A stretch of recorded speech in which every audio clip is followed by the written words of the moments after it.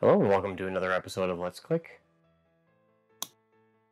with Bricks, where we're the click that sticks together. My name's Patrick, and uh, the new The Marvels movie is coming out this week, so let's take a look back and do some Captain Marvel sets. Um, we're going to start with this one. It is Captain Marvel and the Skrull Attack.